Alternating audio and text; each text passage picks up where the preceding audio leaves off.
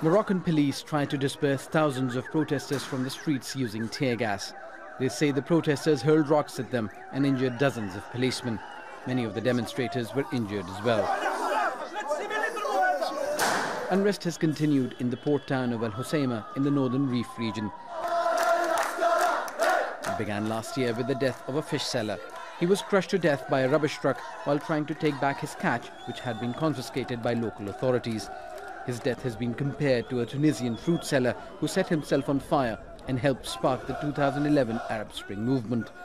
Thursday was supposed to be a day of anger, which the Hirak al-Sha'bi movement called a million-man march. The police were present in large numbers because since last year, violence and protests have continued in Al. A number of activists and protesters were taken into custody and rally points were blocked as hundreds began to converge across the city. We're in a country where there's no freedom of expression. We have nothing here. We're only looking for freedom. What have we asked for? Hospitals? Work? Transport? What's wrong with that? The Hirak al-Sha'bi movement has gained momentum because people in the north have been demanding jobs and development. The ethnic Berber region has complained about corruption and marginalization for years.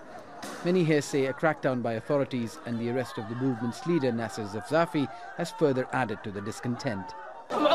كيقمعونا من الفوق زايدين كيضربونا بسائل الدموع ما عندنا والو في هذا المغرب ما بغيناش نديرو معاهم الصداع حنايا سلميين كنطلبوا بالحقوق ما بغاوش يعطي لنا والو والو هذا الشيء اللي عندي ما نقول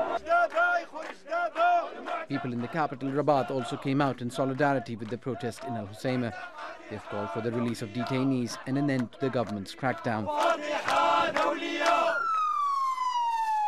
Back in Al Hoceima, the demonstrators remain adamant that their struggle for rights and an end to corruption will continue.